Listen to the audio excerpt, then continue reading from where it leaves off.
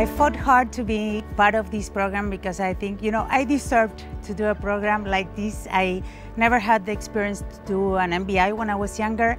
Uh, so, you know, I, I thought this is the right time to do it. What is really helping our company to to be prepared for what's coming is actually all the elements of the AMP program.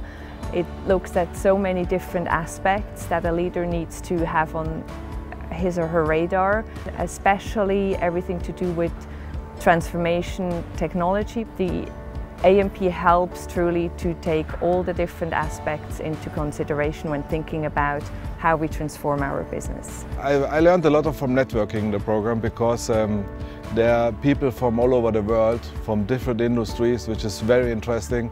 And there are people, they are in the same, um, they have the same challenges, uh, personal challenges I had.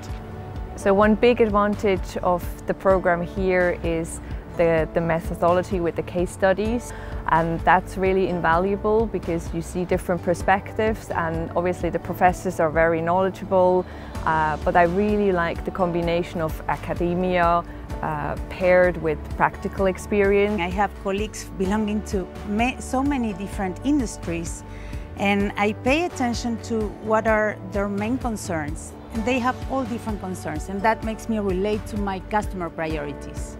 So I'm really learning and trying to understand priorities by different industries.